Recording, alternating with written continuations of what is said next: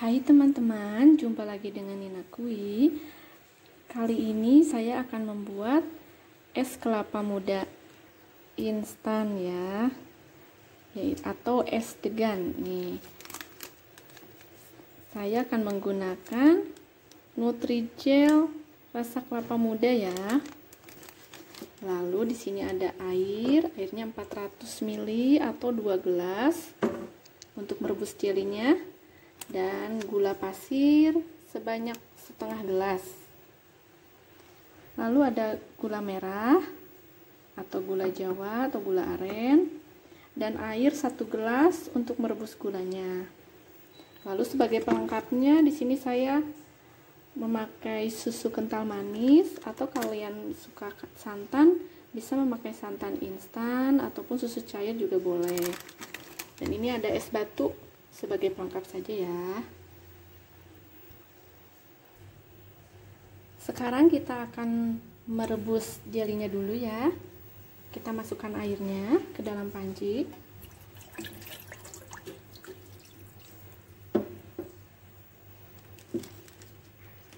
Lalu gulanya. Dan bubuk jelinya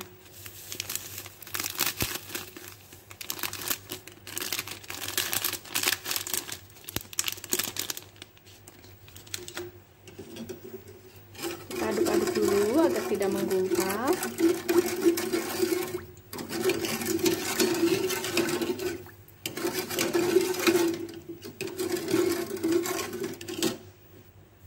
Oke, sekarang kita nyalakan apinya.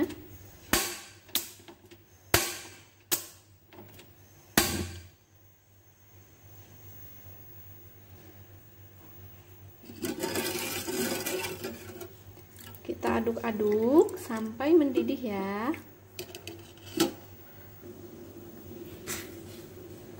Ini aromanya persis banget seperti aroma kelapa muda asli loh. Nah, sudah mulai mendidih. Setelah mendidih rata, kita matikan apinya.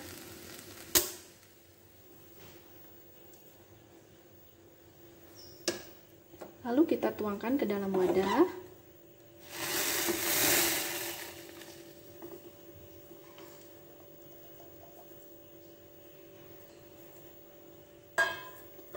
Nah, kita dinginkan. Tunggu sampai beku ya. Gulanya sudah larut semua dan sudah mendidih. Kita matikan apinya. Nah gula cairnya kita dinginkan dulu. Setelah dingin nanti kita sajikan dengan jelly kelapa mudanya. Nah sekarang jelly kelapa mudanya sudah dingin dan sudah mengeras ya jelinya kita krok dulu dengan alat. Ini ya saya adanya cetakan kue. Kalau kalian punya serutan kelapa boleh. Atau memakai serutan buah. Atau juga diiris-iris pakai pisau juga boleh. Saya akan coba pakai ini ya semoga bisa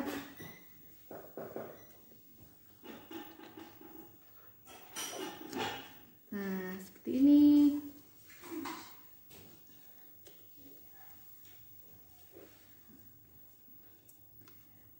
persis kelapa ya teksturnya persis banget seperti kelapa muda. Aromanya juga mirip mirip banget dengan kelapa muda. Kita serut. Serutnya tipis-tipis ya jangan terlalu tebal. Agar bentuknya juga agar mirip banget gitu. Biar mirip dengan kelapa muda yang asli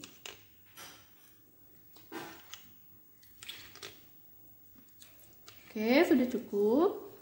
Kita tuangkan ke dalam gelas saja ya.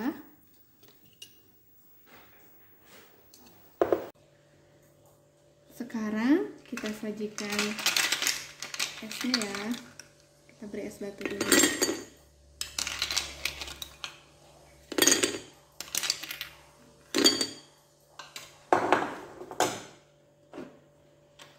Lalu kita masukkan kelapanya.